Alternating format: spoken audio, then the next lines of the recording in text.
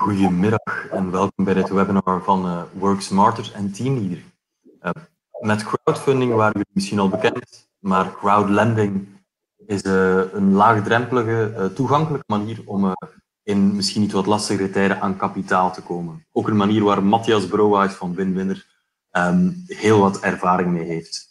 Als jullie vragen hebben tijdens deze webinar die ongeveer een half uur zal duren, dan kan je die vragen stellen in de chat of handiger in de speciaal daarvoor bestemde vragen-tab. Mm, ik ga me zo meteen weer van het podium begeven, dus jullie kunnen al je vragen aan Matthias kwijt. Uh, Maud, zijn um, marketingcollega, zal jullie uh, assisteren bij het antwoorden van de vragen. En daarmee is denk ik alles gezegd. Matthias, ze zijn jullie. Bedankt en ik klik me even snel weg. Oké, bedankt Robin. Goed, uh, goedemiddag iedereen. Ik ben Matthias van Winner. Ik ga jullie uitleggen vandaag hoe je uh, crowdlending kan doen. Waarom um, hebben we deze webinar gehost? Wel omdat uh, wij met Winner heel veel vragen krijgen rond, ja, kan ik nog geld ophalen tijdens deze coronacrisis via crowdlending? Um, wel, het antwoord is daar zeker ja op. En ik ga jullie ook uitleggen de komende half uur hoe we dat gaan doen. Um, in eerste instantie wil ik meegeven dat geld ophalen in Vlaanderen is op vandaag zeker niet gemakkelijk, maar voor het hele corona-gegeven was het ook niet zo gemakkelijk. We hebben een onderzoek gedaan met ongeveer 2000 bedrijven en daar merkten we dat meer dan 82% van de ondernemingen eigenlijk zei van kijk, wij hebben moeite met het ophalen van financiering. Iets dat super jammer is, eh, omdat er eigenlijk heel wat geld ter beschikking is. Um, er gaan natuurlijk wel heel veel uh, bedrijven geld op. Hè. Je ziet heel wat krantenartikels op vandaag. Als je geld ophaalt, uh, komt je in de krant te staan. Als je vandaag de tijd of de standaard hebt gelezen, heb je gezien dat uh, geïnvesteerd heeft in een krekelbar. Um, wel, dat hebben wij mee gefinancierd. Um, dus als je geld ophaalt en er hangen wat grote namen aan, wel, dan is dat zeker hip en cool en komt je in de krant. Dus het is niet onmogelijk om geld op te halen. Nu, als je geld wil ophalen, dan denken jullie vaak aan de klassieke kanalen waarschijnlijk. De bank, de overheid, um, eventueel uh, grotere business angels, grote investeerders die mee kunnen gaan financieren. Maar vaak start het daar niet bij. Hè. Vaak als je in de bank gaat, zeggen ze van oké, we willen wel mee financieren, maar er moet eerst een stuk van jouw eigen geld in jouw onderneming kruipen voordat wij kunnen mee financieren.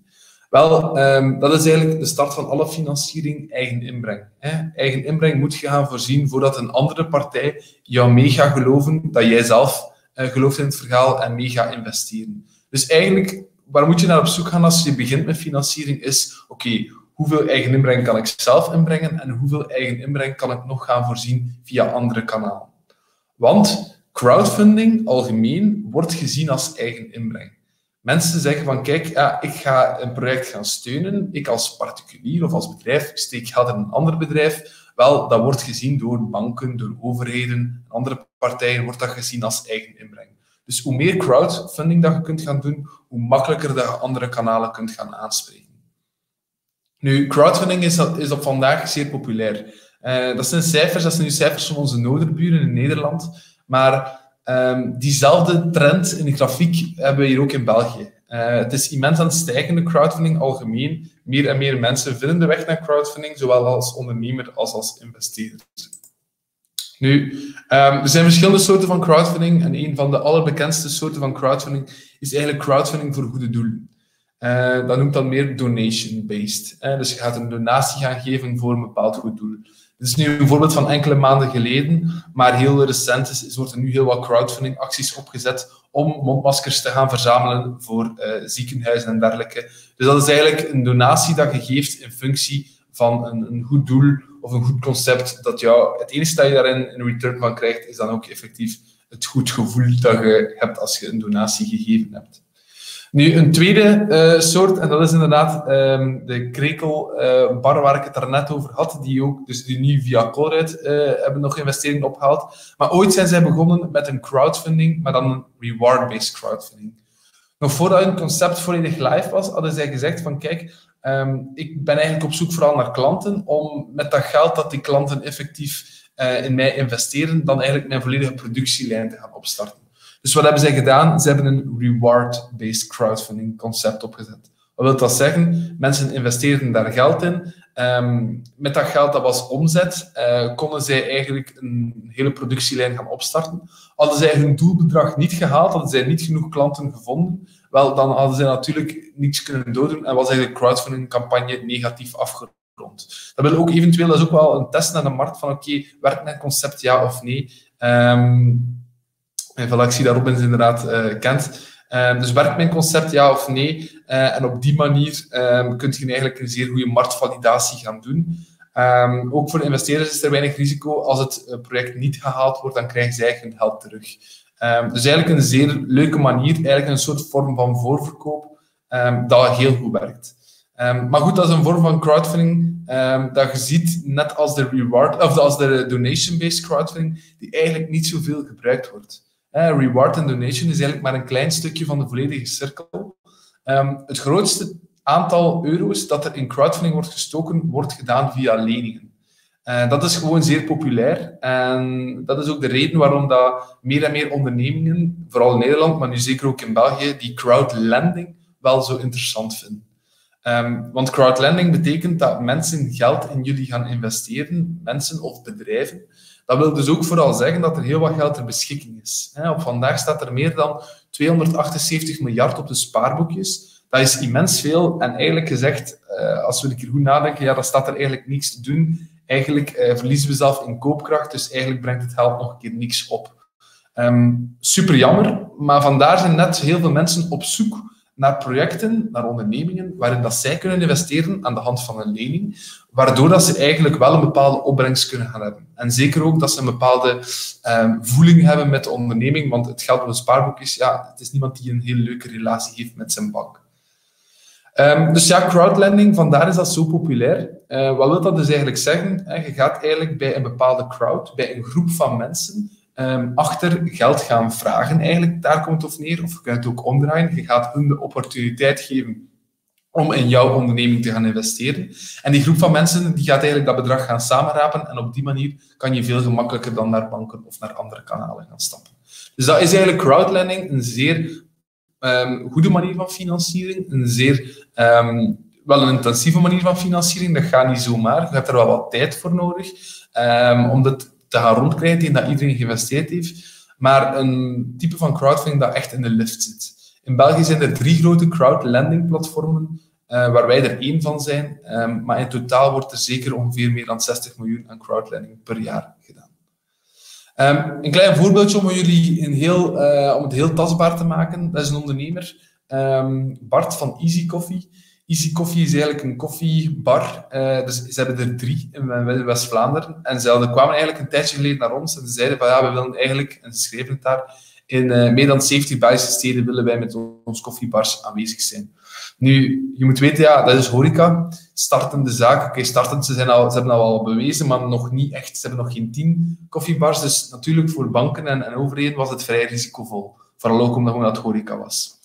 Wat heeft Bart gedaan? Bart heeft gezegd van kijk, ik ga naar heel veel uh, klanten van mij die nu al fan zijn, uh, ga ik uh, een campagne gaan uitschrijven en mensen kunnen daar een lening gaan geven.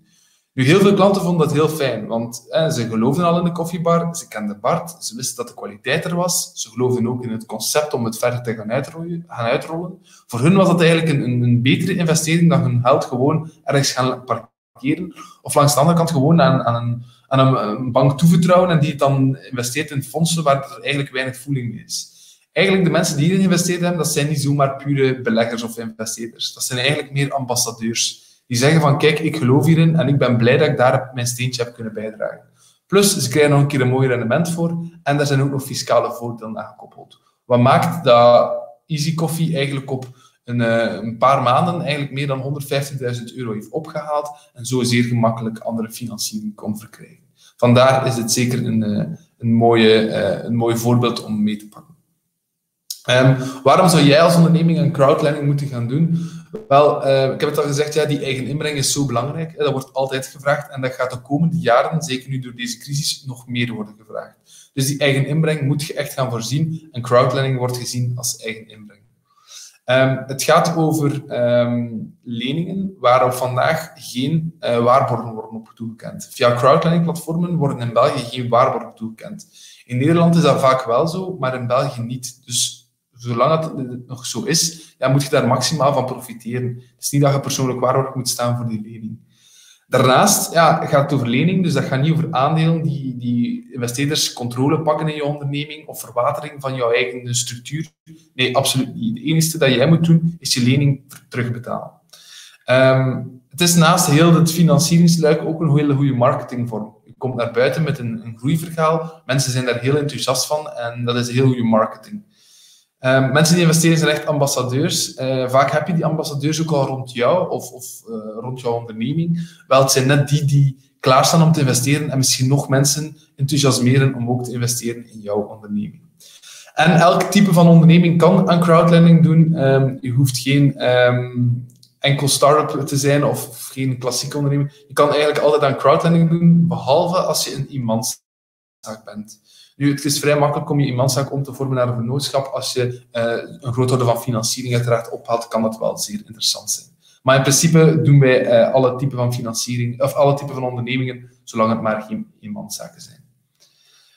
Um, nu, waarom zou iemand investeren dan net in crowdlending? Ik heb het al gezegd, ja, spaargeld brengt niets op op vandaag. Ik zat er net nog in een discussie met een, um, op een forum waar dat mensen zeiden van, ja, um, de investeerders, de investeerders, ja, dat is een, een, een risicomanier om te financieren. En die persoon vergeleek het wel met de Leonard Housepie en de Arco-aandeel.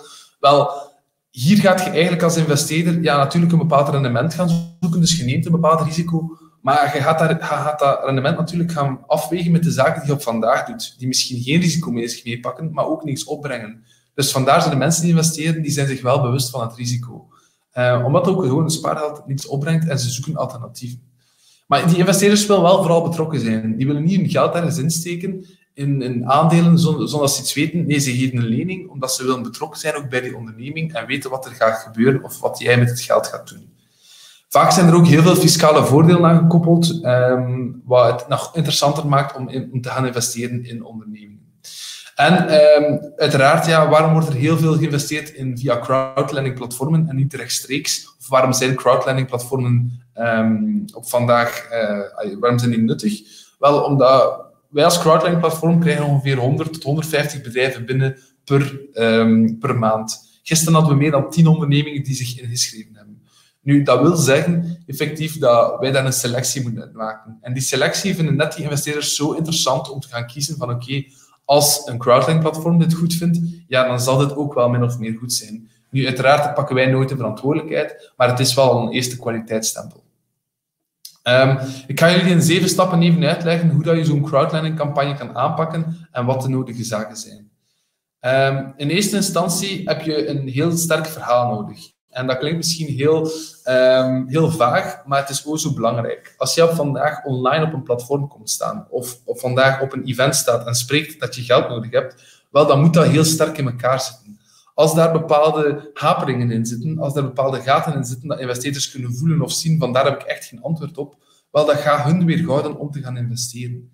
Uh, een heel goed voorbeeld was Madame Baxter, dat is een Gentse onderneemster die eigenlijk geld heeft opgehaald um, op basis van ja, eigenlijk een, een, heel jong concept. Ze had nog amper iets. Ze gingen de horeca een zaak gaan openen in het Gentse. Ze maakte taarten, maar goed, ja, het is nog niet dat ze echt al de zwaar komt van leven.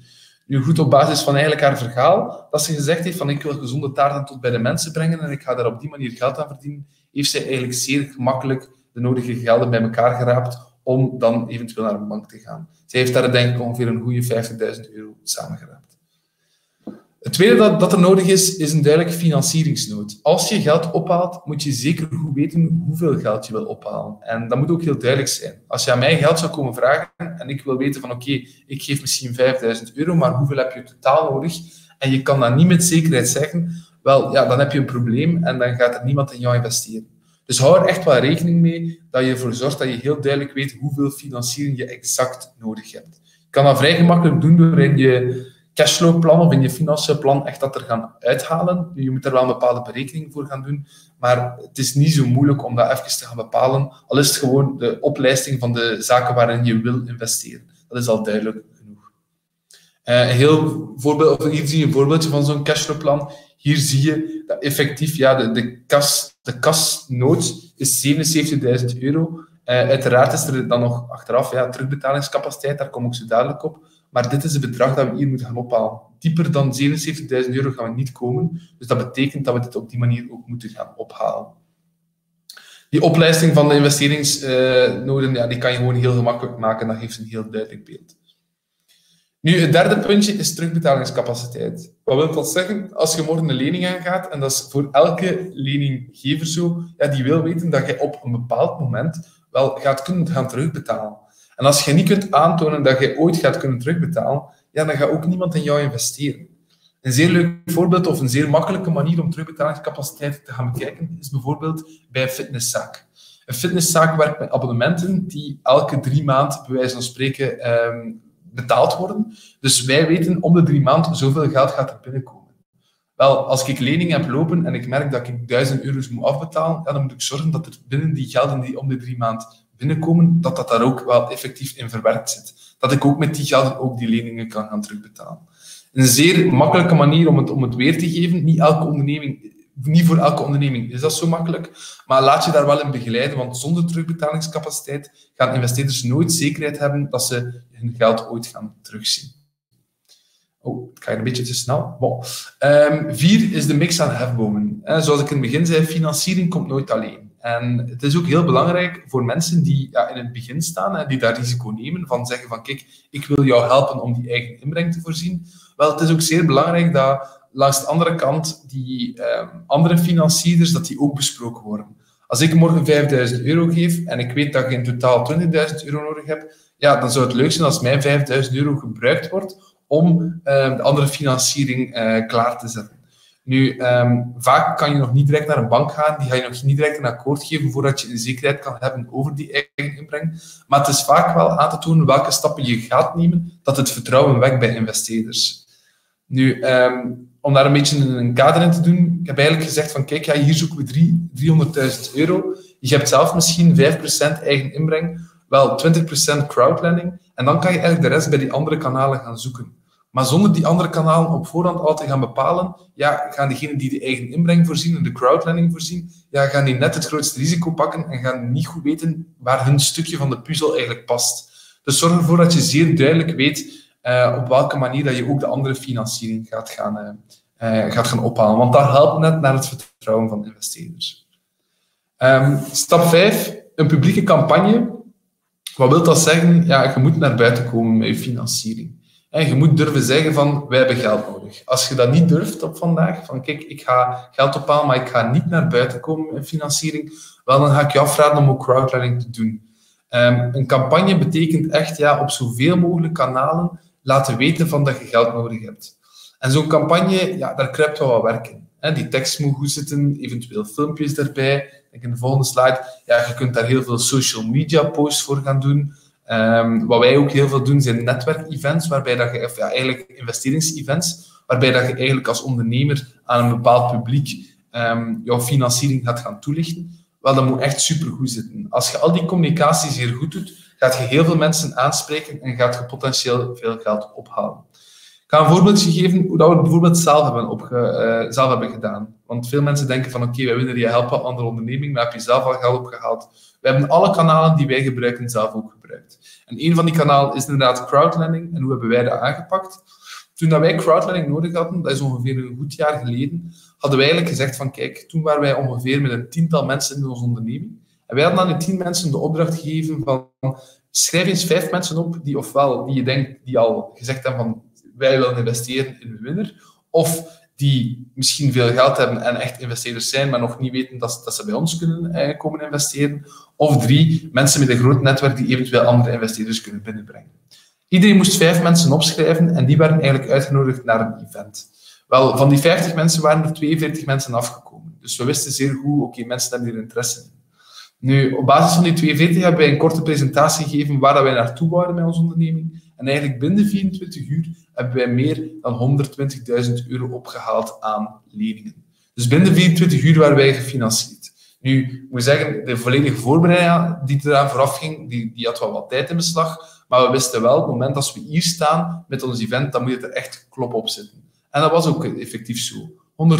120.000 euro konden wij zeer gemakkelijk, hebben dat, zeer gemakkelijk dat geld gewoon verdubbeld bij de bank. En op die manier waren wij zeer uh, goed gefinancierd. Nu, we hebben natuurlijk eerst ons eigen netwerk aangesproken. Als, als het nodig was, hadden we natuurlijk ook een heel grote campagne gedaan met heel veel toeters en bellen. Maar op dat moment was dat niet nodig. Maar de meeste kracht zit hem wel in het echt naar buiten brengen van die financiering. En als je dan ziet, uh, bijvoorbeeld Eddie Merckx klopt bij uh, publieke spaarder aan, of bij spaarder aan, wel, dat is echt net een manier als je zo in de krant komt, dat er heel veel mensen uit onverwachte hoeken ook kunnen naar voorkomen die in jou uh, willen investeren. Dus hou er zeker rekening mee. Uh, die crowdlending uh, moet je echt naar buiten brengen. Als je zegt, ik ga dat niet doen, dan gaat crowdlending niet werken. Um, puntje 6 is ja administratie. We spreken over leningen en bij leningen komen contracten uh, kijken, komen ook bij fiscale voordelen die eraan gekoppeld zijn, komen ook administratie kijken. ook als je een campagne wil lanceren, heb je bepaalde juridische documentatie nodig die in orde moet zijn. Nu, ik wil je zeker niet afschrikken, maar hou gewoon rekening mee dat dat zeker in orde moet zijn. Leuk voorbeeld zijn deze twee mannen eigenlijk van een brouwerij, Brouwerij Broers. Um, het, zijn, het waren twee topbrouwers en dat biertje is ook zeer lekker, maar naar administratie waren ze geen toppers. Um, ze hebben er echt mee gestruggeld en wij hebben eigenlijk heel veel uit handen genomen om ervoor te zorgen dat hun administratie uh, rond die leningen zeer goed uh, verloopt, zodat investeerders natuurlijk niet, um, ja, niet op hun geld moeten wachten. Ik had vandaag nog een mailtje van een investering die we ooit hadden gefinancierd, waarbij de investeerder zei van ja, de, terugbetaling is niet gebeurd, zijn daar sancties voor. In principe zijn er geen sancties voor, maar dat is niet positief als je die relatie hebt met je investeerder. Dus zorg ervoor dat de administratie in orde is. Dat zijn wat voorbeelden van administratie dat je moet doen. Belangrijk is wel dat je niet zomaar op je Facebook mocht zeggen, bijvoorbeeld, ik zoek geld. Je moet het effectief um, onder, onderbouwen door een, en dat is dan een informatienota. Uh, dat is een vrij juridisch document, maar het is wel verplicht vanuit de overheid dat je enkel, als je zo'n informatienota hebt, dat je dan enkel financiering mocht gaan vragen aan de buitenwereld. Um, en het laatste stukje, en daar ga ik jullie een hele leuke anekdote vertellen, is uh, van Balls and Glory. Um, belangrijk is dat je investeerders betrekt, ook na de investering. Um, hoe heeft Balls Glory dat gedaan? Ja, Balls Glory had eigenlijk ook grootse plannen. En ze hadden, ook heel veel financiering ophalen voor heel wat zaken dat zij worden gaan openen, maar dat was niet evident. We hebben ze gezegd, ze hebben gezegd van kijk, we gaan alle investeerders die meer dan 10.000 euro investeren, die gaan wij belonen. Die gaan wij belonen door een kaart te geven. Dat was dan een Very Important Baller kaart. Waarbij dat eigenlijk alle investeerders, dus die meer dan 10.000 euro investeren, die mochten gratis gaan eten in alle Balls Glory restaurants gedurende de lening lang. Dat zijn leningen van acht jaar in dit geval. Dus ja, dat was eigenlijk zeer handig om zo financiering op te halen. Nu, op die manier uh, hebben zij denk ik een 150.000 euro opgehaald. Um, daarnaast is er ook heel wat bankfinanciering bijgekropen. Dus op die manier waren die zeer sterk gefinancierd. Er waren ook heel veel interesse van mensen die zeiden van ja, ik zou misschien 6.000 of 7.000 willen investeren. Maar ja, nu dat ik dat groot voordeel zie, ja, dan merk ik wel dat ik misschien wat meer wil investeren. En als ik dan aan Wim vroeg van oké, na een jaar, wat is de impact dan effectief van die gratis VIP-cards? Hij zei eigenlijk van kijk, ja, die mensen komen af en toe eten, maar dat is leuk, want dat zijn mijn grootste ambassadeurs. Dat zijn mensen die feedback geven over de zaken, die ook zaken zeggen die ik bijvoorbeeld niet zie, die ook met suggesties komen. En op een bepaald moment zat hij zelf met bepaalde zaken met de handen in het haar, dat hij zei van, ik ben ten rate gegaan bij mijn investeerders. En dat is net ook de reden waarom die mensen daar zitten. Die willen ook hun advies geven of hun mening. Dus gebruik die dan ook. Dat is niet altijd even evident. Je kunt niet als elke onderneming uh, iedereen gratis gaan laten eten. Dat besef ik ook wel. Maar probeer het e- op een of andere manier te gaan betrekken. Bijvoorbeeld hoe dat wij het doen. Wij gaan elke investeerder uh, om de zoveel maand een mailtje sturen met een update over ons bedrijf. Dat is meer dan voldoende voor die mensen. Maar zorg ervoor dat je wel iets doet om die te betrekken bij jouw onderneming. Nu, dat zijn de zeven stappen dat ik, jou, dat ik jullie wil meegeven. Op basis van deze zeven stappen ga je eigenlijk altijd een betere crowdlending campagne gaan starten. Mis je een stap, dan is de kans van financieren net iets kleiner. Dus wij gaan eigenlijk vooral ook gaan focussen met winner dat deze zeven stappen zeker doorlopen zijn voordat wij zeker weten of er financiering kan opgehaald worden. Nu, we hebben al heel wat gedaan en ik zei het al voor heel wat verschillende ondernemingen. We zitten boven de 250 bedrijven die we gefinancierd hebben, waar dat meer dan 23 miljoen is naar uh, gestroomd. Dat gaat echt van de uh, brouwerijen, zoals ik daarnet gezegd heb, maar dat gaat ook van de um, elektrische laadpalen, meubelbedrijven, uh, digital agencies, uh, concept stores, zelfs hockeyclubs hebben wij gefinancierd. Je kunt het zo zot niet bedenken. Um, een heel belangrijke is, um, en dat is een van de laatste slides dat ik jullie wil meegeven, Misschien, ja, een vraagje misschien gemist net. Zien jullie een financieel platform voor dit soort financiering? Wel, eigenlijk ja, zien wij een platform. Eigenlijk kun je tot, tot 5 miljoen gaan ophalen. Tot 5 miljoen kun je financiering uh, via crowdlending gaan doen. Nu, 5 miljoen in financiering, dat heeft nog geen enkel Vlaamse onderneming gedaan. Um, wij zijn in principe, wij begrenzen ons meestal tot 200.000 euro. Uh, je moet ook niet meer gaan ophalen bij crowdlending um, dan dat het nodig is. Maar vaak campagnes, eigenlijk een campagne die we net hebben gelanceerd, die heeft net 100.000 euro opgehaald en nu zijn ze nog een beetje aan het doordoen naar de 200.000 euro. Meer dan 200.000 euro, als je dat doet, wel, dan kom ik jou persoonlijk een fles champagne brengen. Um, nu goed, uh, welke type leningen zijn dat? Die vraag krijg ik veel. Je kunt als ondernemer zeggen van oké, ik ben nu klaar om crowdlending te gaan doen. Um, misschien ga ik even, uh, ik ga even die vragen, die vragen ga ik straks beantwoorden. Ik ga even hierop doorgaan en dan pik ik daar verder op in. Um, dus ja, um, leningsvoorwaarden. Wij werken vaak met twee typen leningen. Wij werken met de bekende, en die nu heel veel in het nieuws is, win-win lening en de crowdlening. Nu, win-win lening, dat is geen lening die wij hebben uitgevonden. Die lening bestaat eigenlijk al meer dan 13 jaar en die is uitgevonden door de overheid. De overheid wou eigenlijk het slapend spaargeld, wou die vooral mobiliseren naar de economie. Nu, um, afgelopen weken heb ik een paar keer uh, met het kabinet van Krivits gebeld om die win-lening te gaan verbreden, hè, voor die nog interessanter te maken. Wel, dat is op vandaag ook gebeurd. Um, er is iets interessanter, ik ga ook straks toelichten wat er effectief veranderd is. Nu, um, investeerders um, kunnen eigenlijk bij bewinning enkel particulieren zijn. Dus dat betekent enkel uh, personen uit eigen naam kunnen gaan investeren en die moeten Vlaming zijn. Dus dat is wel een beetje beperkt. Dat is omdat de Vlaamse overheid die uh, natuurlijk stimuleert. Nu, crowdleningen, dat mogen eigenlijk volledig Belgen zijn. Hè? En dat hoeven ook geen particulieren te zijn, dat mogen ook bedrijven zijn.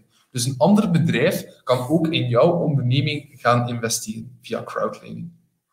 De rente dat er betaald wordt, dat is dus door jullie als ondernemer wat er betaald wordt, is bij de bemiddeling vastgelegd. Dat is 1,75. Meer mogen jullie niet op die leningen gaan betalen. Nu, dat percentage willen we door het lobbyen bij Krivits proberen we omhoog te krijgen. Waarom? Ja, natuurlijk, hoe hoger dat percentage is, hoe meer interesse dat gaat hebben van investeerders. Maar je mocht eigenlijk gaan kiezen um, tot hoever dat het gaat, tot het maximum, en dat is hier 1,75. Nu, het grote voordeel bij crowdlening is dat je daar wel vrij mocht kiezen.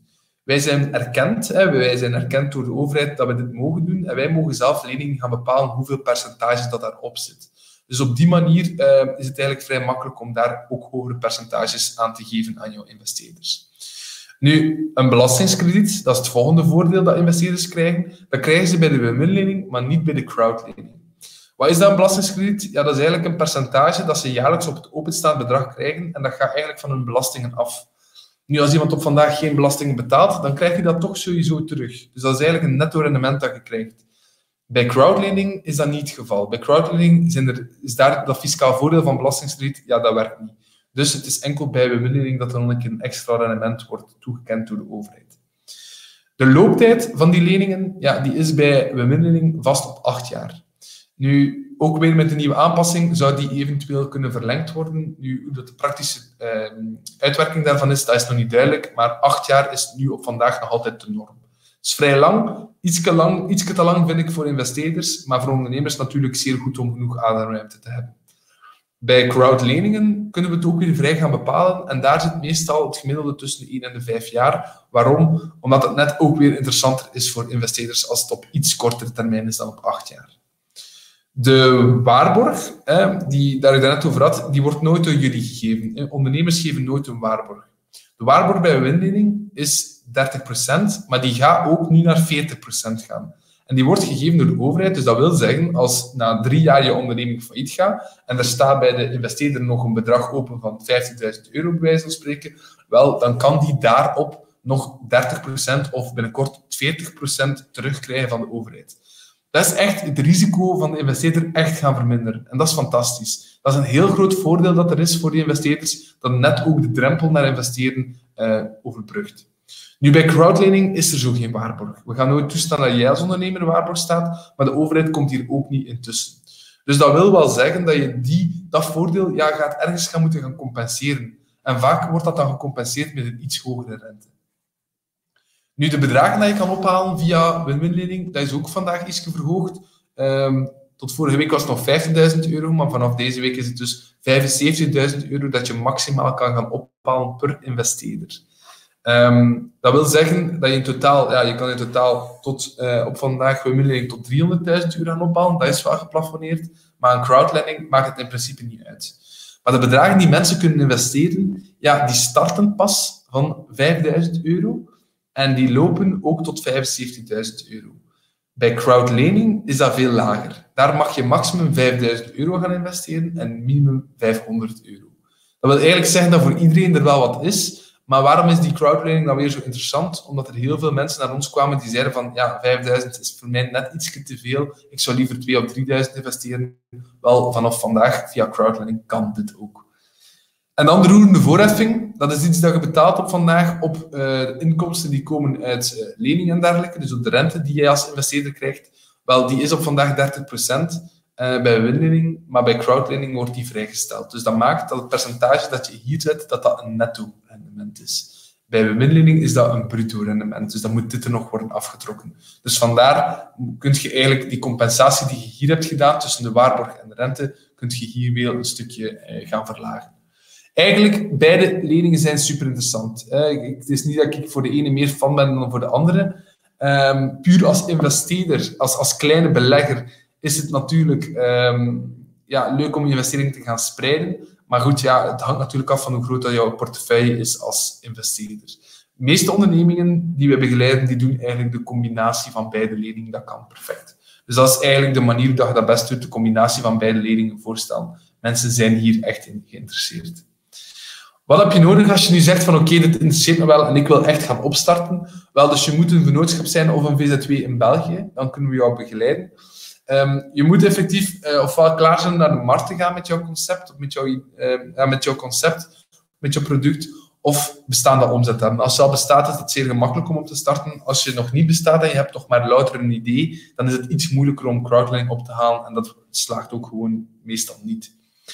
Um, de meeste recente cijfers en de historische cijfers die zijn zeer belangrijk om gewoon een zicht te hebben, niet alleen voor ons, maar ook voor de investeerder, over ja, hoe, hoe draait die onderneming, hoe zit die in elkaar.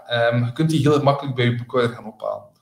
En dan ook naar de toekomst toe heb je een businessplan nodig van oké, waar ga ik naartoe gaan, waar ga ik naartoe met mijn onderneming, welke impact heeft die financiering op mijn onderneming en dan vooral ook welke financiële impact heeft die. Die cashflow-planning die nodig is om een heel bedrijf in kaart te brengen voor de komende twee, drie jaar, meer moet dat niet zijn, wel, die heb je ook wel nodig, zodat de investeerders heel goed weten wat jij met hun geld gaat doen.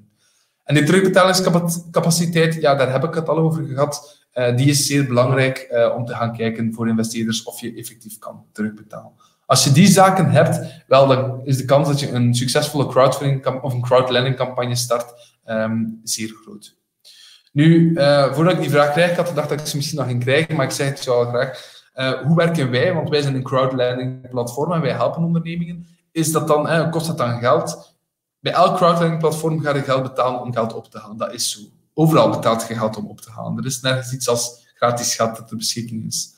Wel, um, hoe werken wij? Um, om jou volledig te begeleiden in zo'n volledige campagne, die volledig uit te schrijven en alle administratie te doen voor en na de campagne, vragen we eigenlijk altijd op, gaan wij altijd op twee modellen uh, werken. Wij doen meestal een opstartkost, gewoon om um, kosten te dekken die, die, die worden gemaakt. En een succeskost als het effectief lukt om geld op te halen. Uh, de, sowieso ook hoe dat elk uh, platform werkt. Dus dat is niet enkel bij ons. Elk crowdlending platform, zelfs crowdfunding platform, werkt met een voorbereiding en een succesfee. Uiteraard is die succesfee um, de meest interessante ook. Wij lanceren geen campagnes waarvan wij al op voorhand weten die gaan niet lukken omdat ja, wij worden ook afgerekend op het aantal campagnes dat, uh, dat effectief slagen.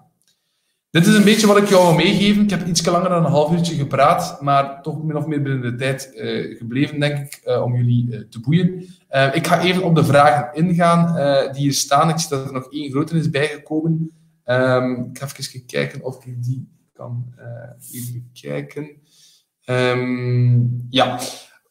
vraag die impact op iets, e op iets van eerder in het webinar. Je zei dat jullie een selectie moeten maken, omdat er enorm veel bedrijven zich aanmelden.